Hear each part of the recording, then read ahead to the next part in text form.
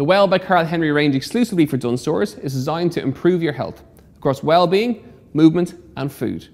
Here's some really simple exercises for your resistance bands. Key thing, choose the right band for your strength. First one is a squat, nice and wide in the feet, back's nice and straight, hands come across.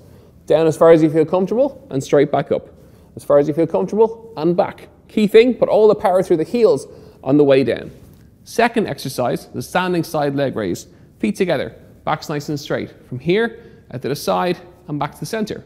Side and center. If you're off balance, use a wall or use a chair. Third one is a circle. Again, your feet are together. We're going to circle back and center, back and center.